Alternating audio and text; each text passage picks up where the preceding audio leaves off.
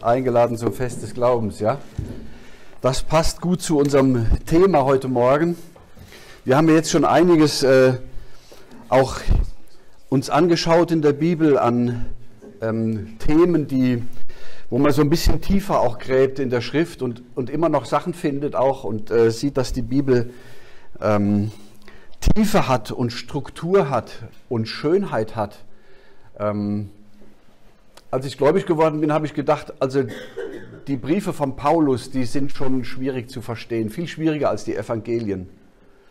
Und später habe ich gedacht, die Evangelien haben noch eine zweite Bedeutungsebene. Da ist noch mehr zu finden, als auf den ersten Blick ähm, man dort vermutet. Und mittlerweile geht es mir durch die ganze Bibel so, ja. Das ist eine Fülle, äh, eine solche Gottesfülle, die uns da entgegenkommt aber man muss irgendwie so ein bisschen auch die Zeit und die Ruhe finden, ja. Also stille Zeit, weiß nicht, wie es euch geht, das ist auch immer ein Kampf für mich, ja.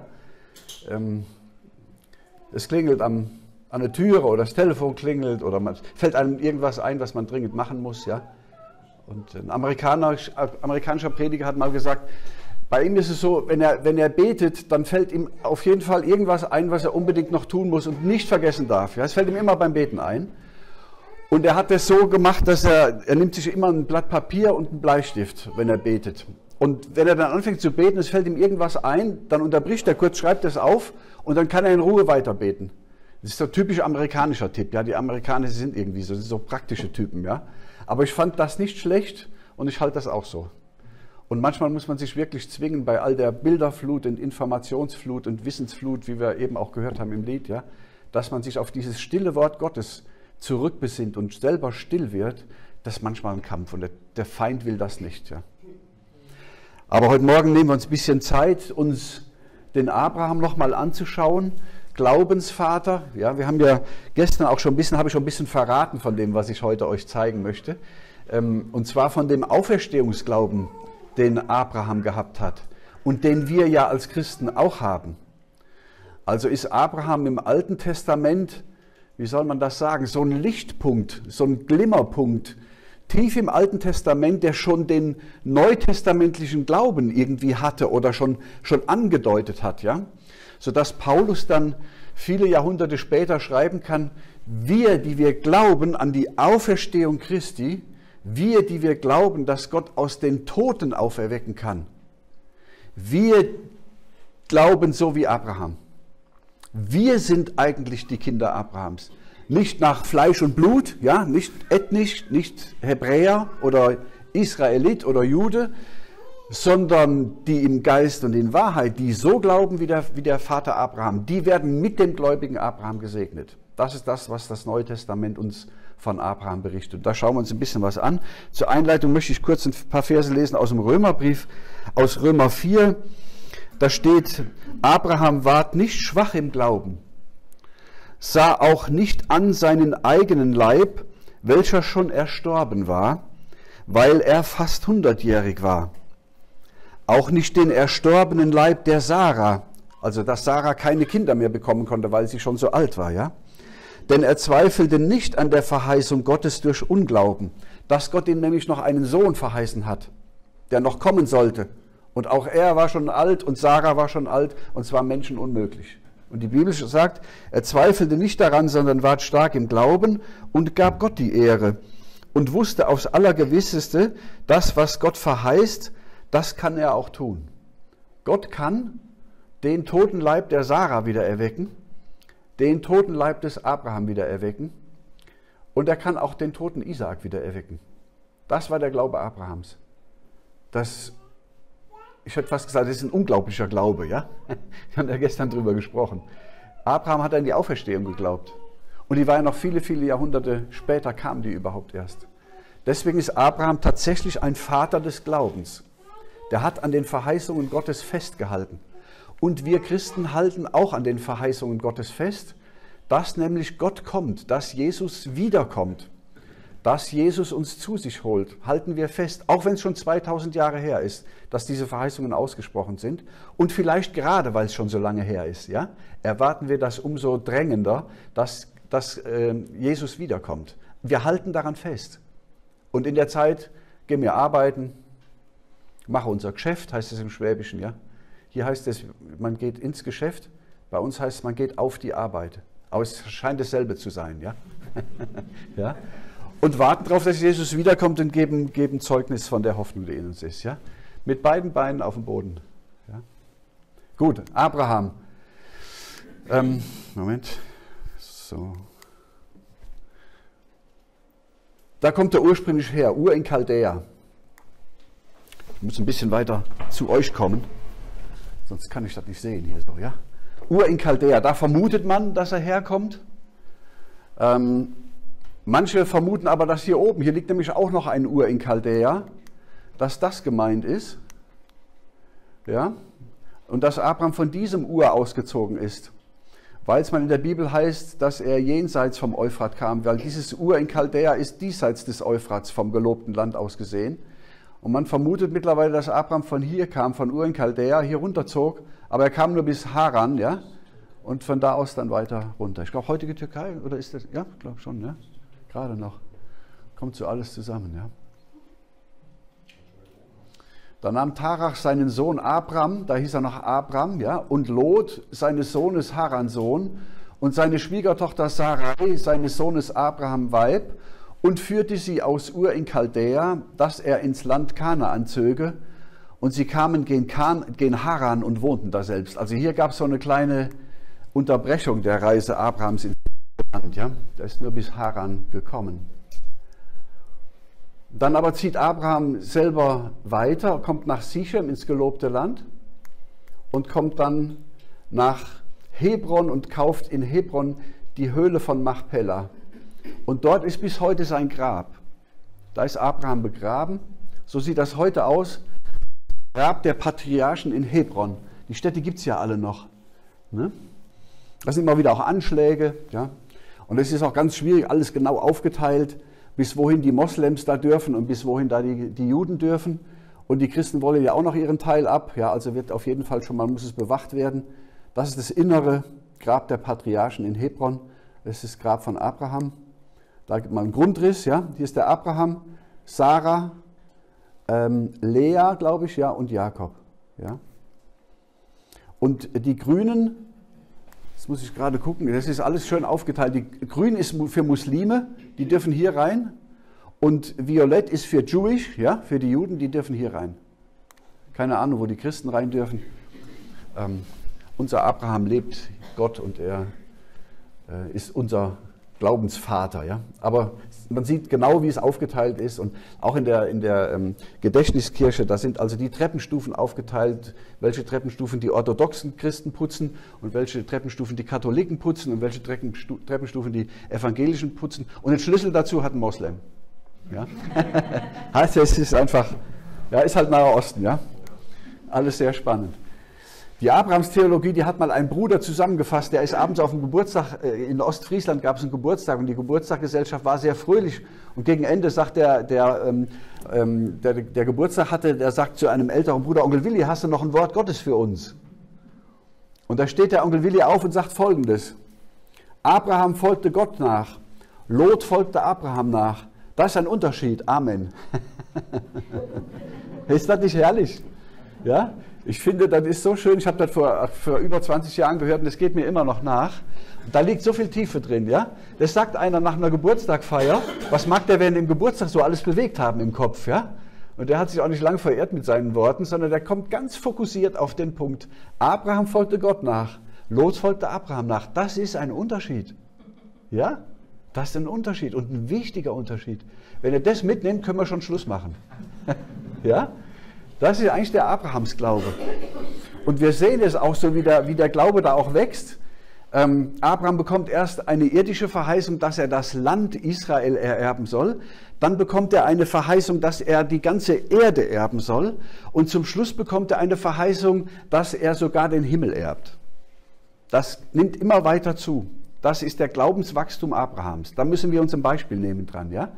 Also er zieht dann aus, aus Ur in Chaldea und dann steht hier, äh, deinem Samen will ich dieses Land geben. Da kriegt er die Landverheißung. Ja?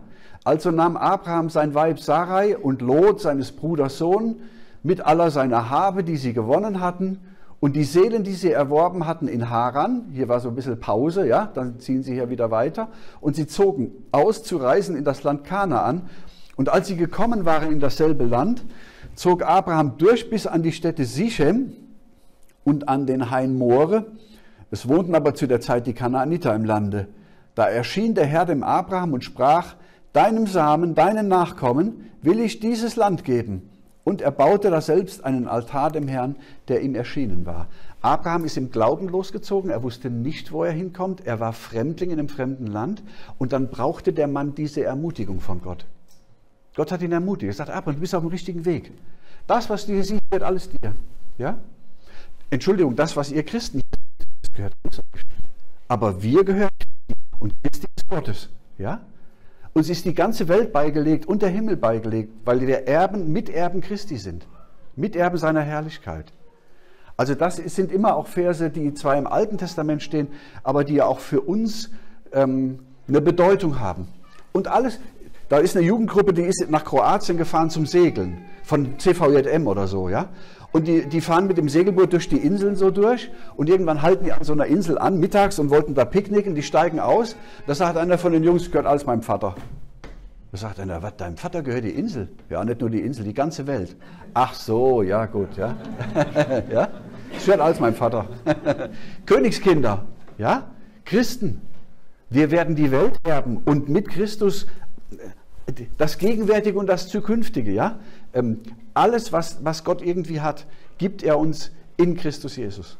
Aber wir gehören Christi und Christi gehört Gott. Ja? So ist die, die Struktur. Und das sieht man hier schon ein bisschen an dem Abraham. Ja? Dann bekommt er eine irdische Verheißung, dass, die ganze, dass er der ganzen Welt Erbe sein würde. Ja? Das ist im nächsten Kapitel, 1. Mose 13. Und zwar war das da, als der Abraham zu dem Lot gesagt hat, komm, wir gehen auseinander, unsere Hirten streiten sich. Da ist er, wähl du dir. Willst du ins fruchtbare Sodom? Ja, dann geh nach Sodom oder willst du auf die Anhöhe hoch, dann du darfst, du darfst wählen. Und Lot wählt Sodom. Damals noch fruchtbar, heute voller Schwefel, ja. Und, und ähm, wir waren mal am Toten Meer, ich habe mich gewundert, wir haben gebadet im Toten Meer. Und ich denke, boah, also, das riecht aber schon ziemlich nach Schwefel, das Tote Meer, ja? Aber das war, weil wir vom Toten Meer Richtung Sodom und Gomorra gefahren sind, Richtung, ähm, wie heißt diese, ähm, diese Hochebene, wo der Herodes sein Megiddo, ja genau. Und auf dem Weg nach Megiddo kommt man da vorbei und die ganze Luft ist heute noch voller Schwefel. Und ich dachte, das ist vom Baden im Toten Meer, aber das ist von, von, von Sodom und Gomorra. Und damals war aber Sodom noch fruchtbar und Lot wählt die fruchtbare Ebene. Und der Abraham, wo geht denn der hin? Der geht auf die Höhe, auf die Anhöhe dort. Das war total karg, wüst, kein Wasser. Und die Hirten vom Abraham haben gesagt, Abraham, bist du eigentlich verrückt? Der Lot ist doch dein Neffe. Du bist doch der Onkel. Du bist der Patriarch. Du darfst wählen.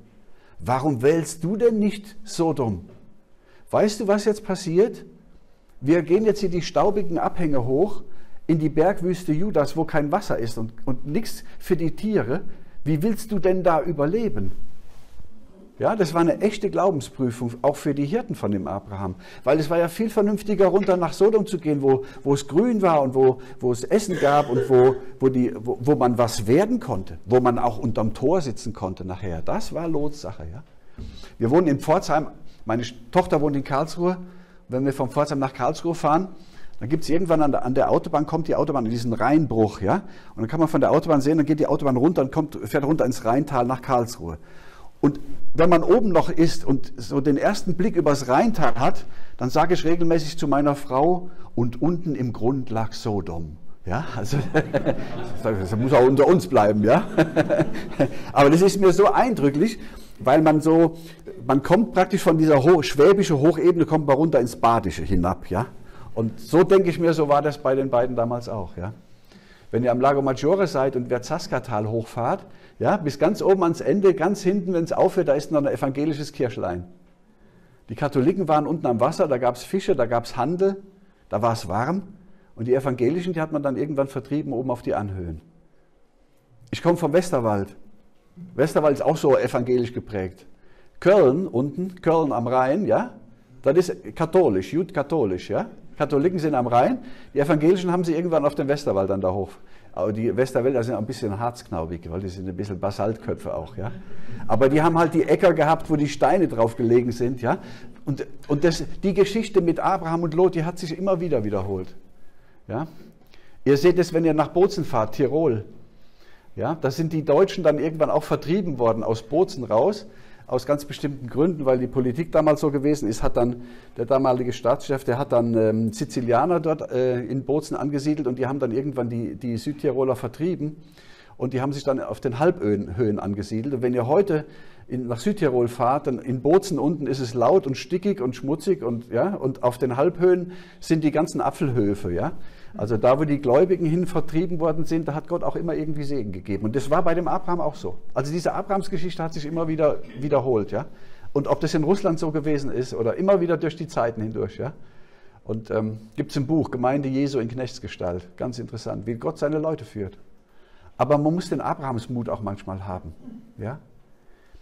Ähm, in der Bewährung erfährt man Bewahrung. Ja, ist auch so ein ganz kurzer Spruch. Ich mag diese kurzen Sprüche. Ja, schön.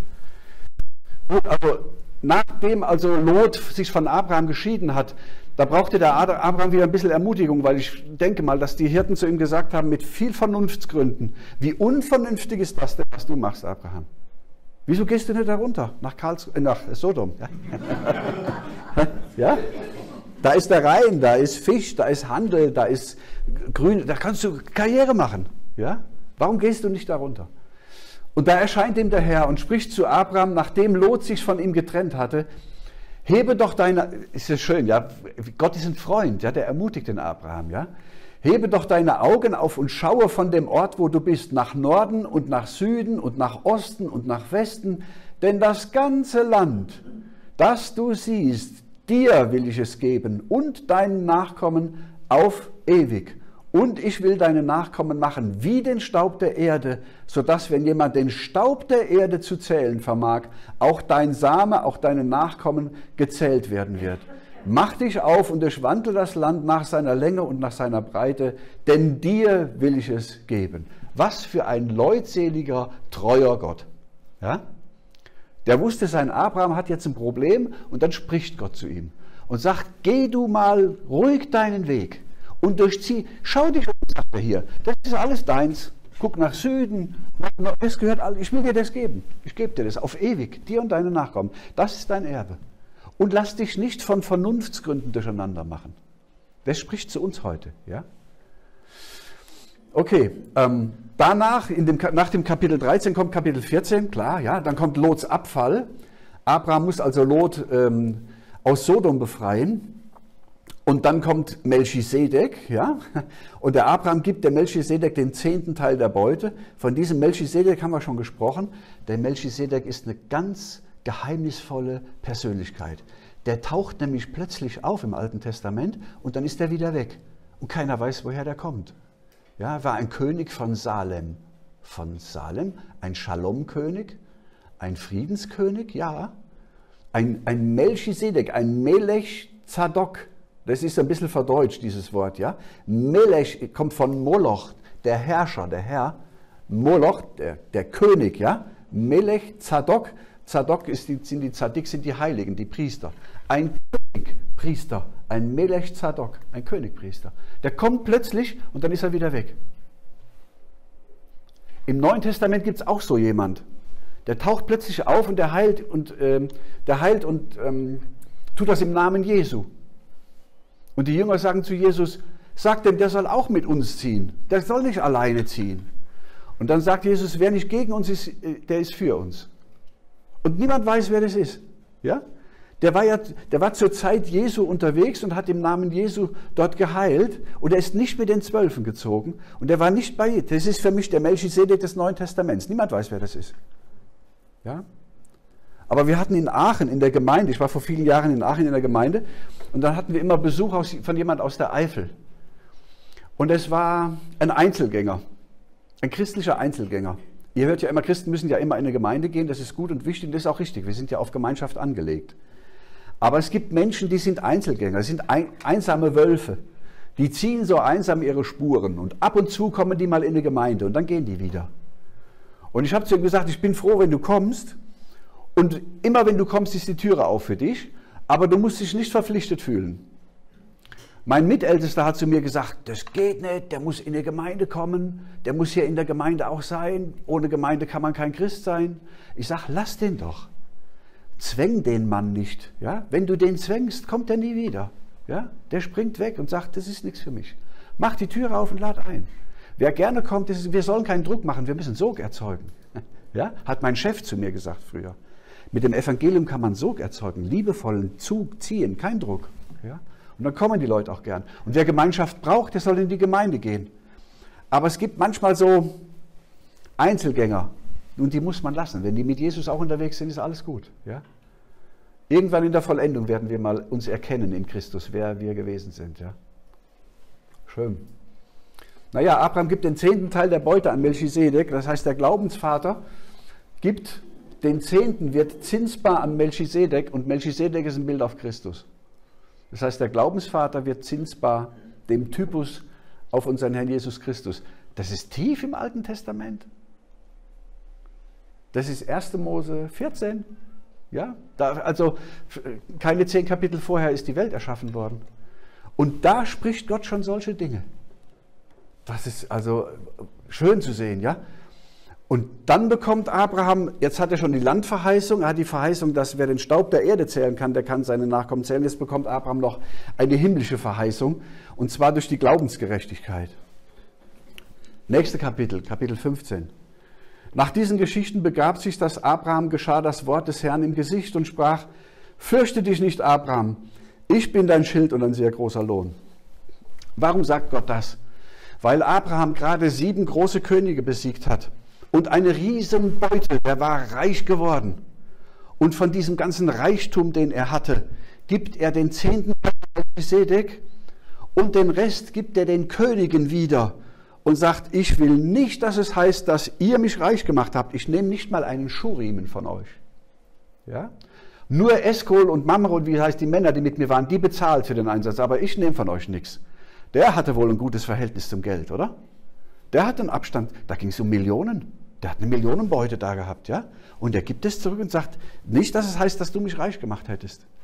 Und dann geht er in sein Zelt und dann haben die Hirten wieder gesagt, also Abraham, ich weiß auch nicht, was mit dir los ist. Also das, das war die Chance für dich. Das war der Sechser im Lotto. Und du hast es verdient. Warum nimmst du das nicht an?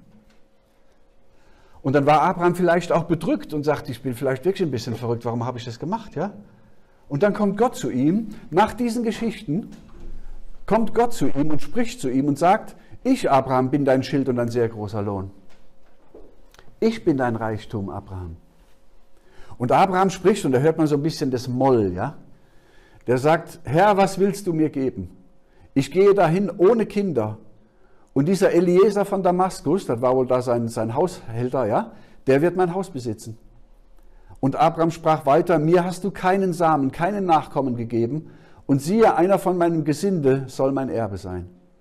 Und siehe, der Herr sprach zu ihm, er soll nicht dein Erbe sein, sondern der von deinem Leibe kommen wird, der soll dein Erbe sein. Wer war das denn?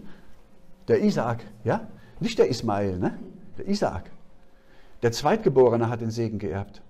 Das war immer so bei den Erzvätern. Ja? Abraham hatte zwei Söhne, Ismael und Isaak. Wer hat den Segen geerbt? Der Zweitgeborene. Isaak hat zwei Söhne, Esau und Jakob. Wer hat den Segen geerbt? Der Zweitgeborene. Jakob hat dann zwölf Söhne gehabt und dem Josef werden in Ägypten Ephraim und Manasse geboren. Wer bekommt den Segen? Der Jüngere wieder. Jakob legt sogar die Hände über Kreuz und segnet die. Und der Josef sagt: Moment, äh, Papa, du legst die Hände falsch rum, dann ist doch der Ältere und dann ist der Jüngere. Du musst so rum segnen. Aber es, auch da erbt der Jüngere den Segen. Warum? Das ist ein Bild auf zwei Bündnisse. Das erste Bündnis mit Israel und das zweite Bündnis mit der Gemeinde, mit der neutestamentlichen Gemeinde. Und den Segen erbt der zweite, die Gemeinde Jesu. Inwiefern? Weil sie wiedergeboren wird, weil sie Gottes Geist hat. Ja? Und das sieht man bei den Erzvätern schon. Im Gesetz steht immer, dass der Erstgeborene den Segen erben soll. Aber in der Geschichte Israels war es immer anders. Immer hat der Zweite den Segen bekommen. Und so ist es auch mit den beiden Gottessöhnen, wenn man so will. Ja, Israel der Erstgeborene, du bist mein erstgeborener Sohn, sagt Gott auch mal zu Israel. Aber die Gemeinde Jesu, die hat den Segen geerbt. Welchen denn? Dass sie teilhaftig wird der göttlichen Natur. Ja, ganz erstaunlich. Das ist Altes Testament, das ist eigentlich Neues Testament. Ja? Ja? Ähm, wieso hat äh, Jakob das Erstgeborenenrecht von Esau abgekauft für einen Teller Linsensuppe? Das ist eine Frage, die müssen wir beim Teller Linsensuppe auch klären. Ja, aber ist eine gute Frage. Der hat es ja abgekauft, der war auch ein Schlitzohr, ja. Ähm, aber können wir vielleicht gleich. Ja, aber ich vergesse die Frage nicht. Ja? Wir gehen rüber zum Griechen nachher. Und dann machen wir das dann. Ja? Einverstanden? Gut, okay. Ja? Ähm, aber man sieht, immer hat der, der Jüngere den Segen bekommen. Und es ist ganz gegen das Gesetz. Aber es entspricht der Heilsgeschichte. Und das, die Bilder haben wir oft. Gut, also nach diesen Geschichten begab sich das Abraham, dass zu Abraham geschah das Wort des Herrn im Gesicht und sprach, fürchte dich nicht, Abraham, ich bin dein Schild und ein sehr großer Lohn. Und da sagt Abraham, was willst du mir denn, mir denn geben? Mir hast du keine Nachkommen gegeben. Und dann sagt der Herr, nicht der Eliezer von Damaskus soll dein Erbe sein, sondern der von deinem Leib kommen wird, soll dein Erbe sein, Isaak. Und er hieß ihn hinausgehen und sagt, siehe, geh in den Himmel und zähle die Sterne. Kannst du sie zählen? Und er sprach zu ihm, so soll dein Same, so soll, sollen deine Nachkommen werden. Abraham glaubte dem Herrn und das rechnete er ihm zur Gerechtigkeit. Abraham hat das ganze Geld, ich sag's nur ganz kurz, das ganze Geld den Königen wieder zurückgegeben und für sich nichts behalten. Und dann kommt Gott zu ihm und sagt, Abraham, ich bin dein Schäkel, ja? ich bin deine Belohnung. Und dann sagt Abraham, was willst du mir geben? Ich habe keine Kinder. Mein ganzes Haus wird an den Eliezer gehen. Ja? Und dann sagt Gott zu ihm, geh raus und schau dir die Sterne, ob du die Sterne zählen kannst. Eben hat er noch gesagt, wer den Staub der Erde zählen kann. Jetzt sagt er schon zu ihm, wer die Sterne zählen kann. Das heißt, jetzt bekommt Abraham schon eine, eine himmlische Verheißung. Also erst wurde ihm das Land verheißen, dann die ganze Erde zu erben und jetzt sogar Nachkommen zu haben wie die Sterne am Himmel. Und Gott geht noch darüber hinaus.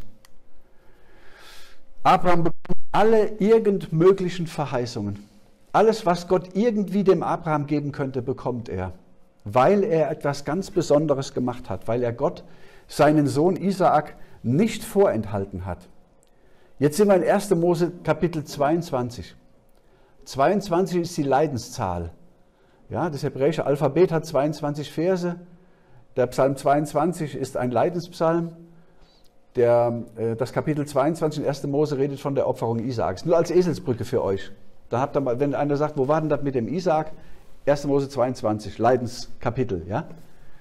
Und der Engel des Herrn rief Abraham abermals vom Himmel und sprach, ich habe bei mir selbst geschworen, spricht der Herr, weil du solches getan hast und hast deines einzigen Sohnes nicht verschont, dass ich deinen Samen, deinen Nachkommen segnen und mehren will, wie die Sterne am Himmel und wie den Sand am Ufer des Meeres. Und dein Same soll besitzen die Tore seiner Feinde. Und durch deinen Samen sollen alle Völker auf Erden gesegnet werden, darum, dass du meiner Stimme gehorcht hast. So wichtig ist manchmal Gehorsam Gott gegenüber, ja? Wir dürfen das nicht unterschätzen. Das war etwas ganz Besonderes. Gott hat Abraham versprochen, dass von seinem äh, Leibe ein Nachkomme kommt, nämlich der Isaak. Als er dann geboren wurde, hat der Abraham ein großes Fest gemacht. Er hat sich gefreut und gefeiert, dass die Sarah im hohen Alter noch einen Sohn gebiert. Und sie nennt den Sohn Isaak lachend, weil die Frau, die Sarah sagt, die Leute werden lachen, wenn sie das hören. Also entweder, man weiß, entweder mit mir lachen oder über mich lachen. Ja, weil sie schon so alt ist. Entweder sich mit ihr freuen oder über sie lachen, weil sie sagen, guck mal, die alte Frau hat noch ein Kind geboren da, ja? Das war ja undenkbar. Und deswegen heißt Isaak lachend oder lachen. Und 14 Jahre später sagt Gott zu, zu äh, Abraham, opfere mir den Isaak. Wir haben da gestern schon drüber gesprochen, ja? Aber es sind heute Morgen vielleicht welche, die gestern nicht dabei waren. Und dann geht Abraham tatsächlich her, nimmt den Isaak, nimmt Holz, sattelt einen Esel in aller Frühe und zieht drei Tage weit zu dem Berg Moria. Das ist wohl derselbe Berg wie der Zionsberg. Und dann lässt er seine Knechte unten am, am äh, Berg stehen und sagt zu ihnen, wir gehen jetzt, also Isaac und ich, wir gehen rüber zu diesem Berg und wenn wir angebetet haben, kommen wir wieder zurück. Ja, Moment, Abraham sollte doch seinen Sohn Isaak dort opfern. Scheinbar geht Abraham davon aus, dass er mit Isaak lebendig wieder zurückkommt. Und das würde ja bedeuten, dass der Abraham geglaubt hat, dass Gott den, den Isaak wieder auferwecken würde nach der Opferung. Ja, da haben wir eben im Römerbrief von gelesen. Gott hatte alle Verheißungen auf den Isaak gelegt und hat gesagt, in Isaak werden dir Nachkommen gezeugt werden. Ja? Und über Isaak werden deine Nachkommen wie die Sterne am Himmel werden. Und plötzlich sagt Gott zu Abraham, opfere mir den Isaak. Und meine Frau und ich, wir haben uns Gedanken dazu gemacht. Wir hatten jeder so unsere Vorschläge und Lösungen dafür. Aber Abraham macht was ganz, ganz Besonderes. Der Abraham sagt, wenn Gott alle Verheißungen auf Isaak gelegt hat und jetzt will, dass ich den Isaak opfere, gibt es nur eine Möglichkeit. Gott muss den wieder lebendig machen. Weil Gott widerspricht sich nicht. Hört ihr das, was das für ein Wortglaube war? Abraham hat jedes Wort Gottes ernst genommen. Bis ins kleinste Jota. Wortglaube. Nicht Wortglauberei, ja, sondern Glaube ja, mit einem Bindestrich. Ja. Abraham hat diesem Wort geglaubt und er sagt, wenn Gott die Verheißung auf Isaak legt und jetzt will er sich den Opfer, gibt es nur eine Möglichkeit, Gott macht den wieder lebendig. Wie, ich weiß nicht, aber so wird das machen. Und wir gehen jetzt rüber dort an, ja, Isaak und ich, und wenn wir angebetet haben, dann kommen wir wieder zurück. Das ist nur ein ganz kleiner Satz in der Bibel. Das heißt, Abraham hat geglaubt an die Auferstehung, aber ich bitte euch, das ist Kapitel 22, das ist erste Buch Mose, das ist nicht der Fässerbrief, das ist nicht Matthäus-Evangelium. Das ist, ganz, das ist die Urgeschichte der Menschheit. Da hat schon jemand an die Auferstehung geglaubt. Und deswegen ist Abraham unser Glaubensvater, weil wir glauben ja auch an die Auferstehung, ja? Wir glauben, dass Gott den toten Jesus auferweckt hat. So wie Abraham glaubt, glaubte, dass Gott den toten Isaak auferwecken würde nach der Opferung, so glauben wir, dass Gott den toten Jesus leiblich auferweckt hat, leiblich, und er leiblich auferstanden ist. Ja, dann haben wir ja auch einen Auferstehungsglauben. Ja, da sind wir ja Nachkommen Abrahams im Glauben. Ja, ihr seid die Sterne. Ihr seid die Nachkommen, die Glaubensnachkommen Abrahams. Wir als Christen, alle, die in der Welt geglaubt haben an die Auferstehung Jesu, sind Samen Abrahams. Ja? Wir sind des Glaubens Abrahams, weil Abraham diesen ganz bestimmten Auferstehungsglauben hatte. Und deswegen liegt die gleiche Verheißung, die auf Abraham liegt, auch auf uns Christen. In Christus. Ja? Das ist die neutestamentliche Sichtweise, wie Abraham hier ausgelegt wird und wie Abraham gezeigt wird als Glaubensvater. Ähm, Davon steht im Römerbrief, davon steht im Galaterbrief. Und immer wieder führt Paulus die Christen der Urgemeinde darauf zurück und sagt, ihr seid die, die wirklichen Nachkommen Abrahams, nicht Israel, nicht das Judentum, sondern ihr. Warum? Weil ihr glaubt wie Abraham, weil ihr an die Auferstehung Jesu glaubt. Das ist die Glaubenslinie, nicht die biologische Blutlinie, nicht die ethnische Abstammung von Abraham, Semit zu sein macht zu Kindern Abrahams, sondern des, des Glaubens Abrahams zu sein. Das ist der Unterschied. Und damit hat Paulus die Urgemeinde immer befestigt in ihrem Auferstehungsglauben, in ihrem Glauben an Jesus Christus, indem er sagt, ihr seid die Fortführung der Verheißung, die hier an Abraham geschehen ist. Das hat ihn im Glauben festgemacht. Und das möge euch auch im Glauben befestigen. Ja? Wir sind auf dem richtigen Weg. Wir haben die Wahrheit gefunden. Wir haben das Heil gefunden. Ja? Okay, also durch deinen Samen, durch deine Nachkommen sollen alle Völker auf Erden gesegnet werden, darum, dass du meiner Stimme gehorcht hast. Das war für Gott so groß, dass Abraham selbst den Isaak, seinen einzigen Sohn, den er lieb hatte, nicht, Gott nicht vorenthalten hat. Das ist das erste Mal, dass in der Bibel das Wort Liebhaben vorkommt. Das ist in diesem Kapitel 22. Gib mir deinen Sohn Isaak, den du lieb hast kommt das erste Mal das Wort Liebe vor in der Bibel. Und Abraham gibt den Sohn Gott. Das ist unfassbar. Und als Abraham das tut, da kommt der Engel des Herrn vom Himmel. Der Engel des Herrn ist eine Umschreibung eigentlich für Christus. Christus ist Gott. Der Engel des Herrn ruft Abraham vom Himmel und sprach, ich habe bei mir selbst geschworen, spricht wer? Der Herr? Ja, Moment, der Engel des Herrn und der Herr ist dasselbe? Ja ist eins. Und Gott redet nicht nur, Gott sagt, ich schwöre dir. Abraham, weil du das getan hast. Ich gebe dir alles. Du erbst alles.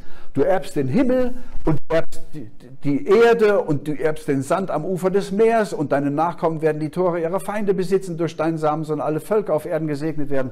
Weil du geglaubt hast, gebe ich dir alles. Weil ihr glaubt, gibt Gott euch alles. Aber wir sind Wartende darauf. Das ist jetzt noch nicht. Ja? Schwärmerische Christenkreise wollen das heute schon haben. Jetzt schon Heilung. Jetzt schon gesund werden. Jetzt schon Wundergaben. Wir sind Wartende, das kommt erst noch. Wir sind Glaubende, wir sind Hoffende, aber wir haben keine unbegründete Hoffnung, sondern diese Texte der Bibel, die zeigen, dass unsere Hoffnung absolut begründet ist. Und wir glauben wie Abraham und wir halten an jeder einzelnen Verheißung Gottes fest. Ja? Und davon schreibt ja Paulus auch, dass uns, wer, wenn Gott für uns ist, wer will wider uns sein? ja, der seines eingeborenen Sohnes uns nicht vorenthalten hat. Ja. Wie wird er uns mit ihm nicht alles schenken? Das ist die Verheißung der Gemeinde Jesu. Aber wir sind Wartende. Und der, da merkt man, wie wir Nachkommen sind dieses Abrahams. Ja? Und er sagt, durch deine Nachkommen sollen, sollen alle Völker auf Erden gesegnet werden. Und jetzt kommt die Anwendung von Paulus. Jetzt lese ich euch, was, was ich euch erzählt habe, lese ich euch jetzt aus der Bibel vor. Ja, dass ihr seht, dass das nicht von mir ausgedacht ist. Ja?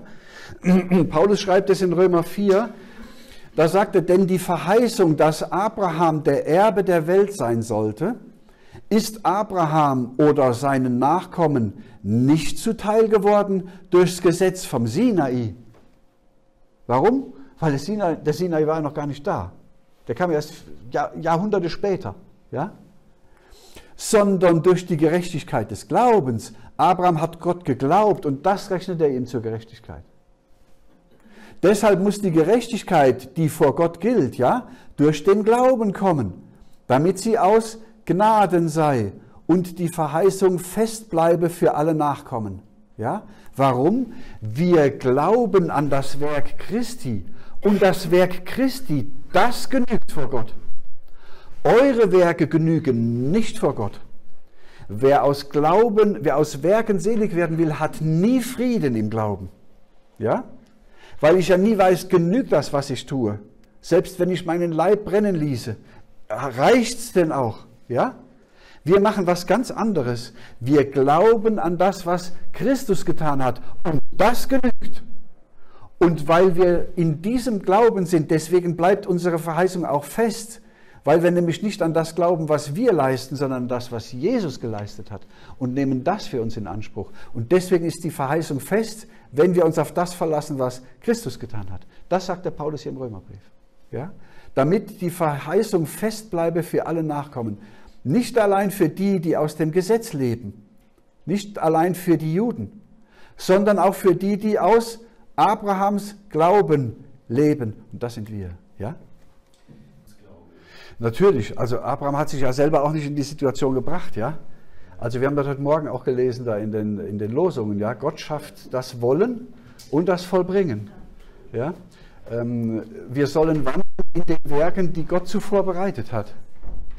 Ja, das heißt, das ist ja ein Werk, was Gott eigentlich zuvor bereitet hat für den Abraham. Aber Abraham geht den Weg auch. Die Frage ist, ob wir Wege erkennen, die Gott uns führen will. Oder ob wir da manchmal sagen, oh, da passt mir jetzt aber überhaupt nicht in den Kram.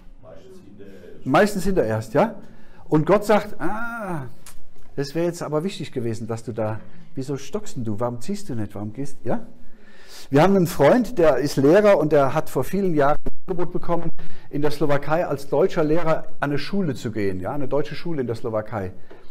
Und die Schule hat alles vorbereitet. Die, die, Direktorin hat Lieder eingeübt, die haben Girlanden aufgehängt, die haben für den deutschen Lehrer dann da große Spruchbänder, Spruchbänder gemacht und eine große, eine große ähm, äh, Willkommensfeier organisiert mit Bürgermeister und mit, äh, also alles, was man da so macht, ja. Und der, der Bruder, der sagt zwei Tage vorher, ich, ich kann nicht gehen, ich, ich, kann, ich kann den Druck nicht aushalten. Ich, ich gehe nicht. Und der hat abgesagt. Dann haben die da in der Slowakei gestanden und haben gesagt, was ist denn los mit dem Deutschen? Warum, warum kommt der denn jetzt nicht? Und es war ganz peinlich. Und der, der Bruder, der, der hat da wirklich auch selber drunter gelitten. Da gibt es in der Pfalz gibt's einen, einen Winzer, ähm, das ist ein Bauer, der ist nicht intelligent, aber der ist klug. Das ist ja ein Unterschied, ne? intelligent und klug. Ja? Die Klugen, die kommen durchs Leben, ja. Die Intelligenten wissen, wie man rechnet, ja. Und dieser Bauer ist ein kluger Mann und da ist er dann hingefahren und hat ihm da von seinem Leid erzählt und hat äh, gesagt, ich habe da abgesagt und das, tut, das ist einfach so schlimm für mich. Und dann hat dieser Bauer zu ihm gesagt, ja, jetzt hast du halt abgesagt. Aber jetzt hat Gott noch einen Weg für dich und den geh ich. Ist das nicht schön? Gott hat noch einen Weg für dich, den geh. Ja?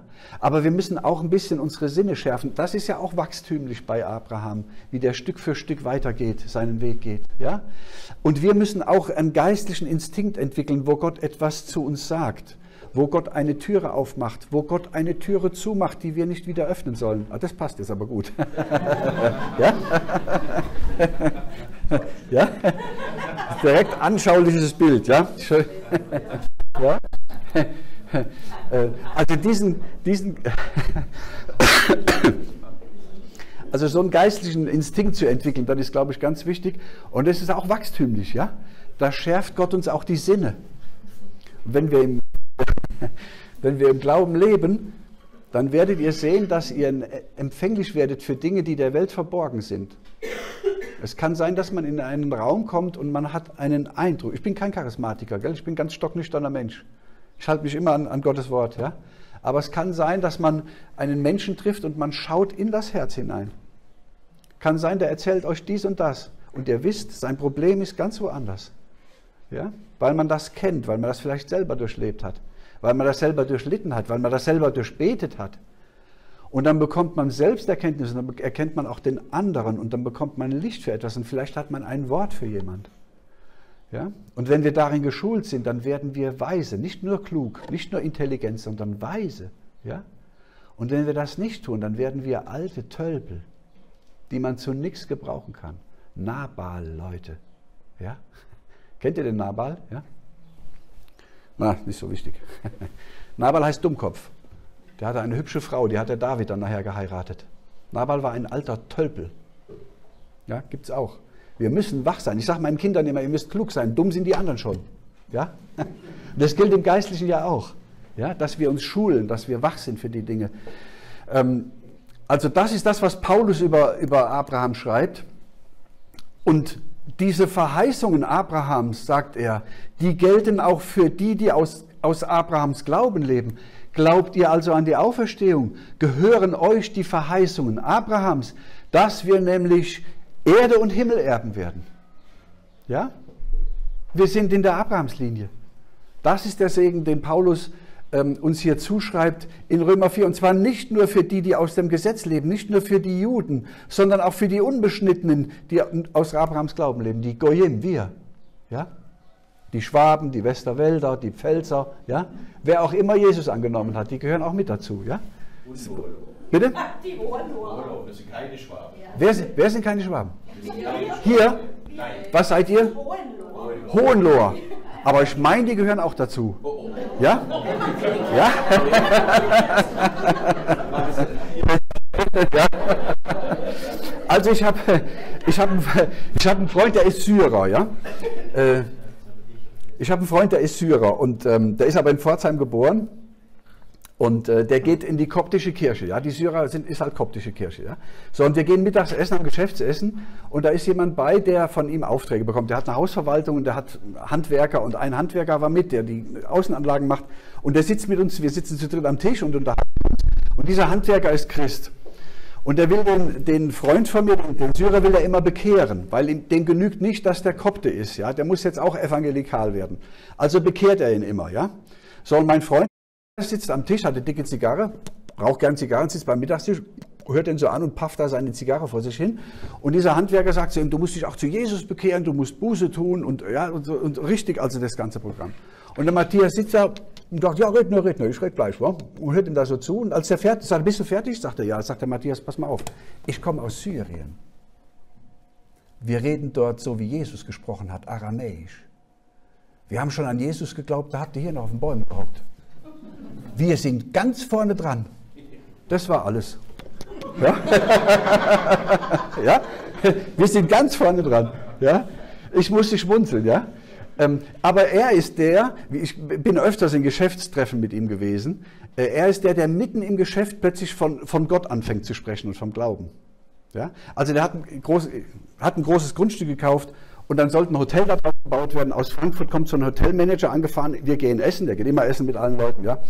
Ähm, und ähm, dann sitzen wir da und unterhalten uns über das Projekt und plötzlich sagt er mitten rein, wissen Sie, Herr so und so, wir Männer, wir haben ja nicht viel, aber wir haben unsere Ehre. Und das Projekt, was wir machen zusammen, das müssen wir ehrlich machen. Ja? Wenn wir das nicht ehrlich machen, dann straft uns Gott. Aber wenn wir, wenn wir das ehrlich machen, dann legt Gott auch Segen darauf. Rums. Ui, sage ich jetzt mal gucken, was, wie Frankfurt reagiert. Frankfurt saß da in Schockstarre. Der hat Gott gesagt. Und zwar zweimal. Ja? Wir sind doch hier beim Geschäftsessen, das passt doch gar nicht. Ja? Aber der Kopte, ich sage zu ihm, weißt du, ich freue mich immer, du bist der Einzige, den ich kenne, der in Geschäftsgesprächen ohne Ansatz plötzlich über Gott redet, über den Glauben. Ja? Banker aus Bayern kommen, Februar, wir waren natürlich essen, ja, so, es schneit und die, die Banker sagen, Mensch, bei euch schneit es ja. Ich habe gedacht, ihr seid, ihr seid aus Bayern, bei euch schneit es oft. Ich habe einen guten Draht nach oben zu Gott, da habe ich gebetet und habe gesagt, er soll doch schneien lassen für euch, als Begrüßung. Ja? So ganz ohne Ansatz. Ja? Kopte. Kann einem auch zum Vorbild sein. Ja? Ja? Also auch Hohenlohr, ja, nee, wir lassen das, ja. Ihr seid bestimmt ganz vorne dran, glaube ich. ja? So, ja. Da lebe ich jeden Tag von. ja? Ähm, kommen wir mal vorwärts hier noch, ja. Ähm, das hört ihr immer oft. Wir kommen auch zum Schluss. Das möchte ich euch aber noch zeigen. Das hört ihr immer oft, dass gesagt wird, dass Abraham ähm, dass durch den Segen Abrahams alle Völker auf Erden gesegnet werden. Ja, und das wird oft von Israel gesagt. Wer Israel segnet, der wird auch gesegnet werden. Und wer Israel flucht, der wird verflucht werden. Das hört er ganz oft heute. Früher war das nicht so oft. Und äh, die Rabbiner heute sagen auch, dass durch die Nachkommen Abrahams, die sie sind in ihren Augen, Israel ein Licht sein soll für die ganze Welt. Aber wir haben ja gesehen, dass der Paulus hier sagt, dass Abraham Glaubensnachkommen hatte und dass die Glaubensnachkommen als Kinder Abrahams gezählt werden und nicht die nach dem Fleisch Kinder Abrahams sind. Denn Abraham hatte ja noch mehr Kinder. Er hatte noch einen Ismael und er hat ja im hohen Alter auch noch andere Kinder bekommen. Ja? Aber das, was hier steht, dass durch deinen Samen, durch deine Nachkommen alle Völker auf Erden gesegnet werden, das, da hat Paulus auch mal einen Bezug drauf genommen. Und zwar im Galaterbrief, und da schreibt Paulus, nun ist ja die Verheißung Abraham und seinem Samen zugesagt, seinem Nachkommen. Er spricht nicht durch die Nachkommen, durch die Samen, als, als ob es viele wären, sondern er spricht durch einen, durch deinen Nachkommen. Welcher ist? Christus. Ach, dann wird die Welt durch Christus gesegnet werden. Genau. Und nicht durch Israel? Nein. Warum denn nicht? Weil Israel Christus verworfen hat. Ja? Israel verwirft Christus. Eignet sich etwas an, was Israel nicht gehört. Eignet sich einen Segen an, der euch gehört, weil ihr glaubt. Eignet sich ein, ein Segen an, der eine Aufgabe an, die eigentlich die Aufgabe Christi ist. Ja? Christus ist der Samen, durch den alle Völker auf Erden gesegnet werden sollen und nicht Israel. Und das findet ihr immer wieder, auch Psalm 3, äh, Jesaja 53, wo die Rede von Christus ist. Da sagen die Rabbiner, nee, da ist die Rede von Israel. Israel hat sein Leben gegeben für die, für die Völker. Ja? Israel hat gelitten und, und äh, war ohne Schuld. Die sagen, das, was wir auf Christus auslegen, ähm, legen die Rabbiner auf sich aus. Das ist heftig. Ja? Und diese Verwechslung passiert auch hier, auch immer wieder mit 1. Mose 22, äh, dass der Segen, und das hört ihr ganz, ganz oft, dass der Segen für die Völker von Israel kommen soll. Ihr hört auch davon, dass wir Christen jüdische Wurzeln haben. Habt ihr es schon mal gehört vielleicht? Ja? Der judäo-christliche Glaube heißt es in Amerika. Und dann heißt die Christen, der, der Glaube der Christen wurzelt im, im Judentum. Das stimmt nicht. Wir wurzeln nicht im Judentum. Wir wurzeln in Christus. Einen anderen Grund kann niemand legen, außer dem, der gelegt ist, nämlich Christus. Ja? Und das Judentum sollte auch in Christus wurzeln. Warum? Weil Christus heißt ja der Gesalbte, der Maschiach. Das ist doch ihr Messias. Das, das, Judentum sollte nicht im Buchstaben des Gesetzes wurzeln, sondern das, das Judentum sollte im Glauben Abrahams wurzeln, im Glauben an die Auferstehung, im Glauben Christi, im Glauben des Gesalbten. Da sollten Sie. Ja? Merkt ihr das? Wir lassen uns unser Fundament aber nicht nehmen. Einen anderen Grund kann niemand legen, außer dem, der gelegt ist. Welcher ist Christus? Das wird so ganz fein abgefärbt. Dann kommt immer mehr dazu. Ja? Und das nistet sich irgendwie so ein. Okay, also das ist der Abrahamsglaube als, als die Vervollständigung. Ne? Hier steht, nimm Isaac, deinen Sohn, den du lieb hast, und dann opfert Abraham den Isaac. Und hier steht dieser Vers, wenn wir angebetet haben, wollen wir, wir wollen wieder zu euch kommen. Wer? Naja, Abraham und Isaac. Das kann nur sein, wenn der Isaac auferweckt. Jetzt kommen wir mal zum Schluss. Jetzt machen wir noch einen Gedanken. Stellt euch vor, der Abraham wäre bei der Kreuzigung dabei gewesen. War er ja nicht. Ja? War ja Jahrhunderte später. Aber stellt euch vor, Abraham wäre bei der Kreuzigung dabei gewesen. Dann hätten die Jünger alle geweint und hätten gesagt, Jesus ist gestorben auf Golgatha. Sie haben unseren Herrn getötet. Wohin hast du ihn gelegt? Ja, sagt Maria, als sie denkt, es ist der Gärtner. Ähm, und sie waren traurig darüber, dass Jesus gestorben ist, gekreuzigt wurde, gelünscht wurde von den Römern, ausgeliefert von den Juden. Wisst ihr, was Abraham gesagt hätte? Abraham hätte gesagt, dieser Jesus kann nicht tot bleiben. Der muss auferstehen. Warum? Weil Gott seine Verheißungen auf ihn gelegt hat. Ja? Das heißt, Abraham hätte mit seinem Abrahamsglauben die zwölf Jünger trösten können und hätte sagen können, wartet mal ab, die Sache hier ist noch nicht zu Ende. Der muss wieder lebendig werden, denn dem gilt die Verheißung und an dem hängt ihr, an dem hängt Israel, an dem hängt die ganze Welt, an dem hängt die ganze Schöpfung, der ganze Kosmos, an ihm. Er kann nicht tot bleiben. Du wirst nicht zugeben, dass dein Heiliger die Verwesung sehe. Ja? Das ist das, was Abraham geglaubt hätte. Die Jünger haben mühsam an die Auferstehung geglaubt, nach der Auferstehung Christi, wenn Jesus ihm die Hände zeigt mit den Nägelmalen, mühsam. Ja, Thomas sagt, ich glaube nicht, außer ich lege meine Hände in die Nägelmale. Die Emmaus-Jünger brannte nicht unser, unser Herz, als er mit uns redete. Ja, die haben mühsam verstanden, Jesus ist auferstanden.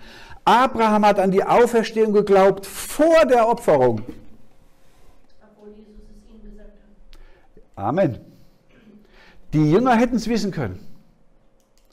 Was ich aber so, was so groß ist an diesem Glauben Abrahams ist, dass Abraham an die Auferstehung glaubt, nicht nachdem sein Isaak ihm wieder geschenkt worden ist, ja, sondern bevor er ihn opfert. Das ist unglaublich. Ich weiß nicht, wie ich das sagen. Ich glaube, ist natürlich unglaublich, ja. Aber ihr, ihr wisst, was ich meine. Das ist wirklich ein Vater im Glauben. Das ist ein Vater im Glauben.